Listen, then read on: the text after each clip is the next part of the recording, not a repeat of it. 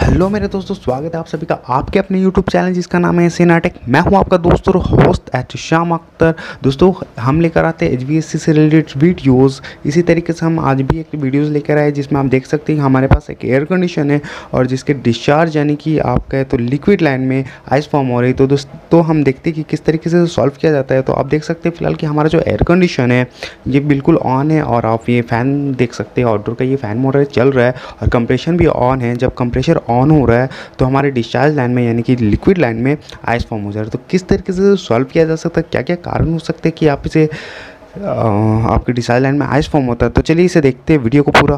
दोस्तों, हमारे चैनल को और बेल आइकन के दबाना ना भूलें। हमारे लेटेस्ट वीडियो के अपडेट के लिए।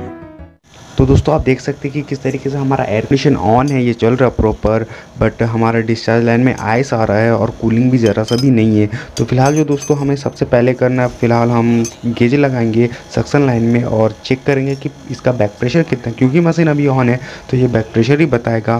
तो हम बैक प्रेशर पहले चेक कर लेते हैं। हॉस पाइप को मशीन से कनेक्ट करने के बाद आप देख सकते हैं कि हमने कंपाउंड गेज पे कंपाउंड गेज पे हॉस पाइप लगा दिया। तो फ़िलहाल जो हमारा प्रेशर बता रही है, बिल्कुल कम है। लगभग 30 पीस आई है, जो कि हमारा आर ट्वेंटी टू रेफ्रिजरेंट है। उसमें आपका बैक प्रेशर पैंसठ से सत्तर होना चाहिए। तो फ़िलहाल तो ये मतलब रेफ्रिजरेंट कम है, कहीं से मतलब लीक है। तो पहले लीक को बंद कर लेते हैं, हम लीक ढूंढ कर। तो दोस्तों, फ़िलहाल हमने लीक को बंद कर दिया है। वो फ्लेयर से लीक था, कहीं थोड़ा सा लीकेज था। फ्लेयर से ही तो हमने उसे बंद कर दिया। तो फ़िलहाल दोस्तों आप देख सकते हैं जो हमारा बैक प्रेशर बहुत कम है लगभग तीस में। तो फ़िलहाल हमें गैस टॉपअप करना आर ट्वेंटी टू तो दिखाते किस तरीके से आप आर ट्वेंटी टू को टॉपअप कर सकते हैं। सबसे पहले दोस्तों आप देख सकते हैं कि जो हमने हॉस पाइप है, ये ये जो हमारा सिलेंडर से कनेक्टेड है, उसे मिडिल पे हमने कनेक्ट किया है और जो हमारा कंपाउंड गेज है, उसे डायरेक्ट मशीन से कनेक्ट किया है। तो फ़िलहाल दोस्तों हमें गैस टॉप टॉपअप करना है, लेकिन उससे पहले दोस्तों आप देख सकते हैं कि किस तरीके से हमने कनेक्ट किया है। फ़िलहाल आप देख सकते जो हमारा आइस है, वो मेल्ट हो चुका है, क्योंकि मशीन थोड़ी देर जब हम लीक चेक कर रहे थे तो मशीन बंद था तो आइस पूरा मेल्ट हो चुका है।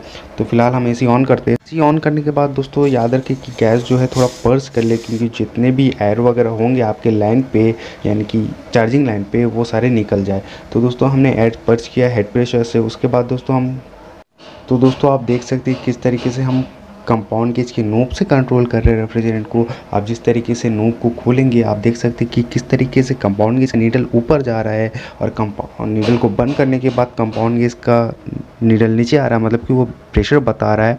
तो आप धीरे धीरे ही इसे जब भी रिफ़िल करें तो धीरे धीरे करें आप देख सकते किस तरीके से रेफ्रिजरेटर जाने के बाद आइस भी रिमूव हो चुका है। तो हमें बैक प्रेशर डालना है, क्योंकि मशीन अभी ऑन है तो हम बैक प्रेशर को ही फॉलो करेंगे। आर ट्वेंटी टू रेफ्रिजरेंट का जो बैक प्रेशर होता है, पैंसठ से पचहत्तर तक तो हम उसे ही फॉलो करेंगे। और देख अब आपने देखा होगा कि हमारा सिलेंडर उल्टा रखा हुआ, क्योंकि हमारे पास स्टोव वाला सिलेंडर नहीं है, हमें लिक्विड चाहिए मशीन में वेपर नहीं चाहिए तो इसी तरीके से आप भी करें।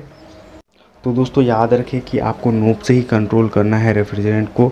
आप देख सकते हैं कि वक्त ले थोड़ा, ताकि रेफ्रिजरेंट आपका पूरी तरीके से सर्कुलेट हो जाए रेफ्रिजरेंट साइकिल मतलब आपके पाइपलाइन में तो वो बेहतर है। आपको एक कंफर्म बैक प्रेशर मिल जाएगा। तो वेट करके डालें, आप रिटर्न चेक कर सकते हैं यहाँ से। तो फ़िलहाल ये आ रहा है बट हमें, क्योंकि वेदर अभी थोड़ा ठंडा है तो हम साठ तक ही बैक प्रेशर डालेंगे, सात से पैंसठ ही डालेंगे, क्योंकि गर्मी में वो फिर से एक्सपेंड हो जाएगा। तो फ़िलहाल हमें साठ ही रहने देते हैं।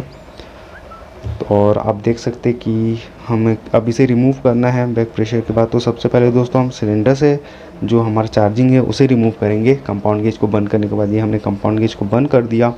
और आप देख सकते कि हम पहले सिलेंडर का जो चार्जिंग है हॉस पाइप है, उसे रिमूव कर लेंगे यहाँ से। तो दोस्तों, एक प्रॉपर रेफ्रिजरेंट डालने के बाद आप देख सकते हैं, हमने गेजेस हटा लिए और जो हमारा आइस था, वो भी मेल्ट हो चुका है और अलहमदिल्ला अच्छी हीट एक्सचेंजर की तरफ़ से हवा आ रही है मतलब गर्म हवा है। अगर आप आउटडोर तरफ़ देखो, जब हीट एक्सचेंज होता है, वहाँ पे तो गर्म हवा आती है फ़िलहाल हम इंडोर में चलते हैं और देखते हैं कि वहाँ पे कूलिंग क्या है, किस तरीके की कूलिंग है, वो प्रॉपर है या नहीं। एक बार मैं चेक कर लेता हूँ जस्ट टू बी श्योर तो अलहमदिल्ला यहाँ पे भी कूलिंग बहुत बढ़िया है। तो ये था दोस्तों, एक वीडियो की किस तरीके से, अगर आपके एयर कंडीशन में डिस्चार्ज लाइन में या कहे लिक्विड लाइन में आयस आ रही है तो आप किस तरीके से आप उसे हटा सकते, किस तरीके से रिमूव कर सकते क्या क्या कारण हो सकते हैं? तो दोस्तों, कैसा लगा वीडियो ज़रूर बताएँ। लाइक करना ना भूलें हमारे चैनल को।